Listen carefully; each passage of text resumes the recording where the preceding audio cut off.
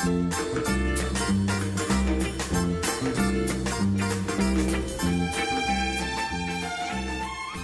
are weird questions. I don't know. Teammate most likely to end up on a reality TV show would be Leon Orr.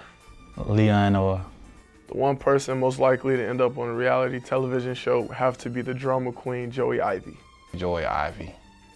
I think Joey, Joey Ivie, he's he should be on a reality TV show like ASAP. Me.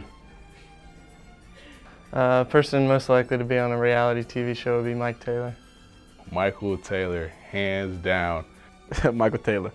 Mike Taylor. Mike Taylor. Mike Taylor. I say Mike Taylor. He built for shows like that, like The Real World or Jersey Shore or something. He need to get his own show. Whether it's a positive or negative reality show, I don't know. He was made for TV and uh, he'll be on TV one way or another. Can I say myself?